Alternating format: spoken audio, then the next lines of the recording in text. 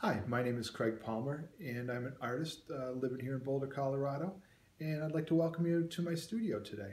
Uh, before I take you in and show you what I've been working on, I just want to give you a little background information on myself. Um, I graduated from Parsons School of Design in 1983 with a degree in illustration.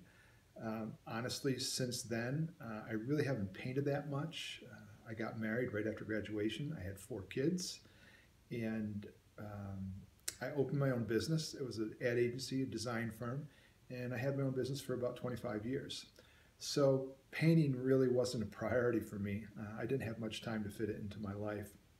Um, but my wife and I recently moved from Sarasota, Florida to up to Boulder here in the fall. Uh, my wife took a, a job at Charlotte's Web here in Boulder. And I'm at the stage of my life where I'm able to do uh, something I've always wanted to do, and that is to paint full time. So after the first of the year uh, in 2020, I decided to make that my focus. And as an artist, I prefer to focus on portraits. Uh, I always, uh, I've always loved the connection I make with my clients um, when I'm painting a portrait of a loved one um, who's passed away or they're marking a milestone in their life. Uh, I also paint a lot of portraits of uh, pets. And um, that also is very, it's a very fulfilling thing for me to paint a person's uh, beloved animal who passed away um, or you know, someone, you know, their favorite dog and cat and, and, whatnot. So I love the connection I make with my, with my client through portrait painting. Uh, I find it very satisfying as an artist. So since uh, I haven't painted much over the years, um, you know, I may have painted a couple portraits a year, a couple pictures a year, uh, and I could go literally five years between uh, periods of picking up a brush. Uh, it would be the point where I'd go to paint, and I haven't painted in many years. I'd open my paints; they'd all be hard rock, solid as a rock.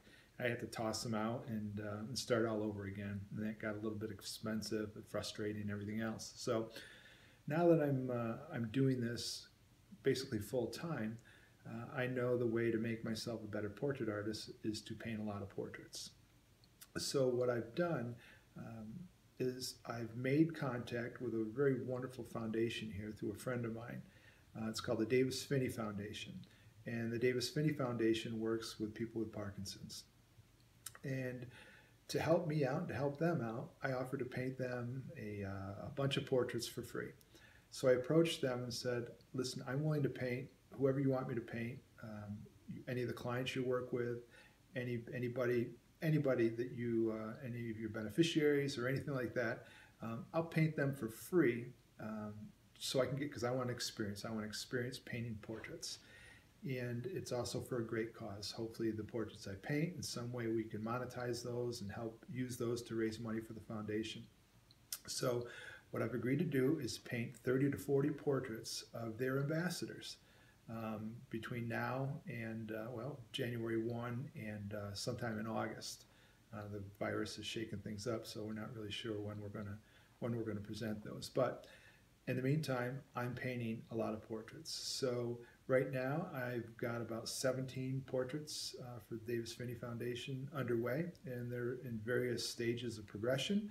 And uh, I'd like to take you in and show you what I'm working on. So this is my studio. Now this is what would have been the dining room of my house. And I've um, corralled that and made it into my studio. Unfortunately, um, I was having conversations with Abby and Cindy from Bohemia Studio, which is right here in North Boulder, and it's only a stone's throw from where I live. And I was going to rent some space from those uh, those folks and uh, have my studio in there.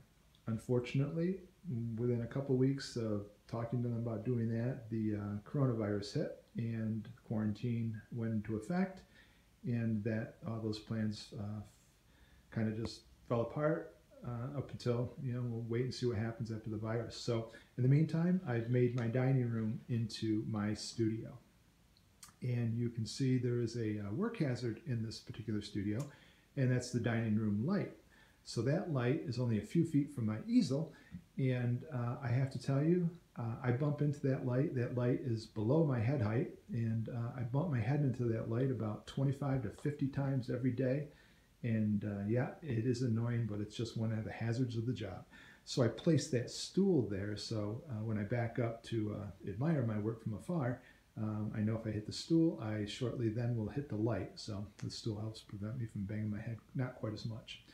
So what I have up on the easel, I've taken some of the portraits I've been working on and um, I put them up on the easel. So you can see these, these are the portraits I'm painting for Davis Phinney. Um, these are their ambassadors. And these are 12 inch by 12 inch oil paintings and they're on wood panels. And um, I've been working on these. Oh, I do really didn't get started till the end of January, beginning of February. And we've got some, put some more down here on the floor. Hopefully you can see those.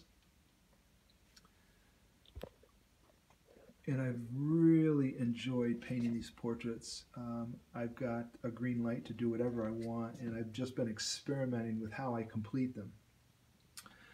Um, I've also been painting some uh, landscapes, just experimenting with some landscapes, uh, some still lifes. I don't know if you can see that. My, my phone isn't very great. I've been working on some clouds and various still lifes. Um, I, these are just from photographs basically that I've downloaded from the internet. Uh, some of them actually are paintings that I like. And I found it very helpful to paint paintings from artists that you like. You can learn a lot about their technique. You can learn a lot about their brush strokes. And I really learned a lot from doing that. So this is my drying rack. And these are some a bunch of other pictures I have under varying levels of progress. Um, I'm working on uh, doing some scumbles and uh, putting some glazes on and whatnot. So um, this is it. This is my studio.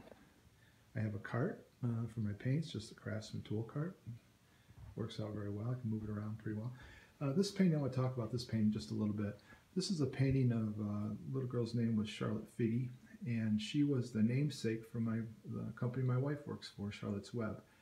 Uh, Charlotte was a little girl who was born with severe epilepsy, and she lived her life with severe ep epileptic seizures. Uh, she would have 200 to 300 of these seizures a week, and uh, the child was in um, it was a very very difficult time for her parents. And it got to the point where the doctor said there was nothing else they could do for her, nothing had worked, and uh, they should prepare uh, for the worst they um, sought out some help and they met the Stanley brothers from Charlotte's Web. And uh, the Stanley brothers were making a CBD um, oil then. And uh, they found that CBD had a lot of properties that uh, helped um, people with seizures. And they mixed up a special batch. Uh, they, they worked with Charlotte and found out what, uh, what worked for her. And um, the CBD they developed for her uh, went took her seizures from three to about 300 a week to two to three a month, and they were very mild seizures at that. So, uh, at the age of six or seven, I'm not sure how old she was, but she was able to uh, get a, a, you know start living a, a, fulfilling life without without seizures.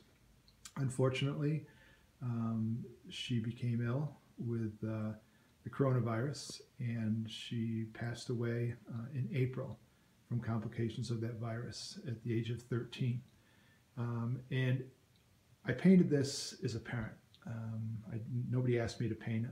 Uh, nobody's paying me to paint it. And I painted it because I'm a dad with four kids. And the idea of losing your child um, after all those struggles, and well, losing your child, period, but after all those struggles and finally finding peace in her life and uh, for the virus to take her uh, was a tragedy to me and it broke my heart. And uh, as a dad, it really affected me. So, you know, I, I just made this picture of, Charlotte uh, holding the butterfly, representing the birth, her rebirth, her spiritual rebirth.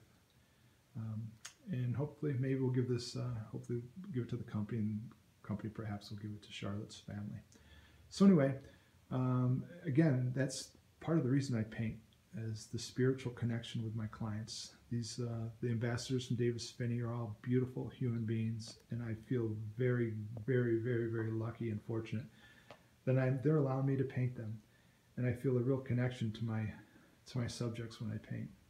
So, yep, this is my studio slash former dining room, and uh, I'm glad you you all came to see it, and uh, I thank you for watching my video. You can see I have an Instagram page at Craig Palmer Art, and my website is craigpalmerart.com. And I'm really looking forward for this quarantine to get over, and uh, I'd love to sit down with you and have a beer or a cup of coffee or a glass of wine, whatever you'd like, and, and just uh, get to know each other. But thank you very much for watching, and uh, I hope to meet you all soon. Thank you.